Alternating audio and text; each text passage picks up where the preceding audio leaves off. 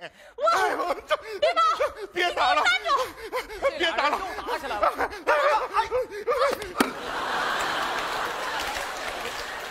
兄弟，你没事吧？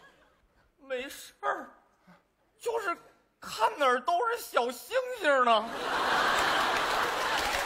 这不你家吗？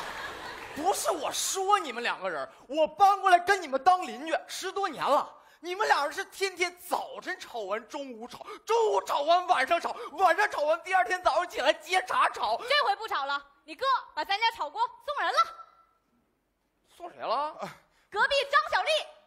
咱家现在就一个蒸锅，你说那是上顿吃包子，下顿吃包子，吃的我现在人脸就像个包子似的。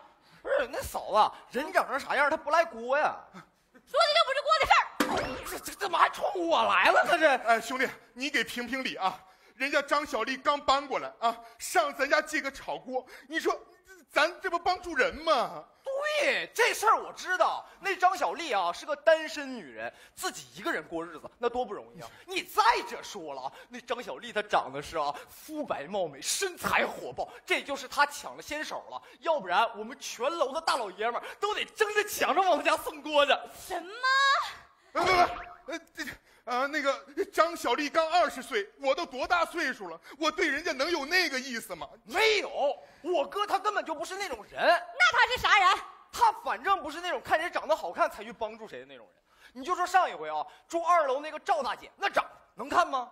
家里水管子砰一下就炸开了，那还不是我哥一个箭步就冲进去了，咔咔咔咔咔几下就给修好了。完事儿，他俩把衣服就都脱了。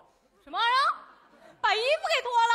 呃，不，呃呃那那衣服脏了呀。哎呃，但是后来赵大姐把她老公的衣服给我换上了。你还在他家换衣服？你打人他还老婆！老婆儿子，我哥这都是些英雄之举啊！拉倒吧！怎么了？他不就是为单身女性献上一份爱，为未婚的妇女同志们送出一份情吗？别说了，再说我就出作风问题了。作风问题你也配？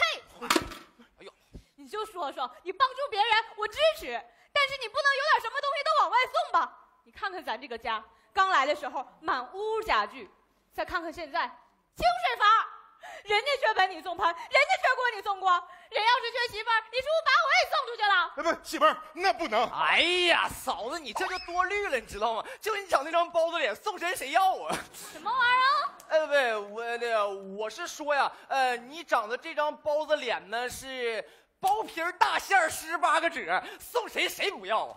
您吧，呃，那个，哎呦哎呦，你把那锅要回来，不完事儿了吗？你这话说的，我都送出去了，怎么好意思往回要啊？你这是死要面子活受罪，连个锅你都不敢要，你个窝囊废！谁窝囊废？你窝囊废！我怎么窝囊废了？让你我不就是送个炒锅许人的吗？你说你别不说我窝囊废，啊，你俩日子咱能不能过了？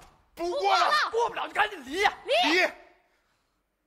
哎，对呀，过不了还能离？不是那个嫂子，我不是那意思，我一不说什么？你还真要跟我离呀、对，离！不是你们还真离啊？离就离，哥，我不是你们俩嫂子，你知道我是啥样人？不是，这是我爷爷留给我的。我爷爷临终前说，家里有什么过不去的坎儿，就打开看看。切存折，中国人民银行嫂子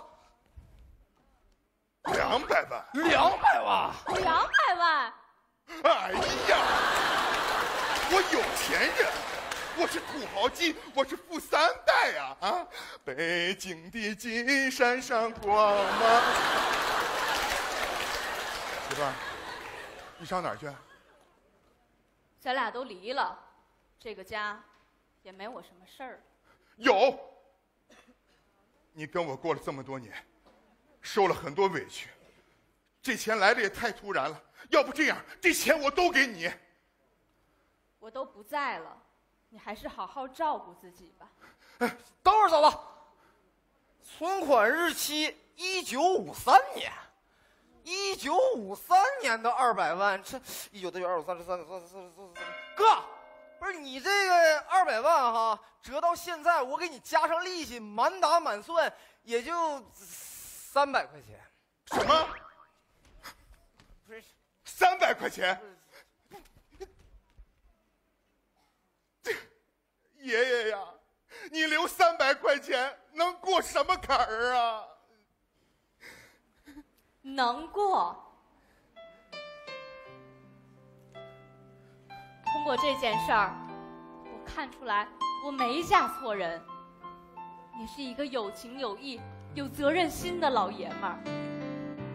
别小看这三百块钱，就是这三百块钱，才守住了我俩的家。媳妇儿，老公，你们两个不打了？要打也是我俩打你。救命啊！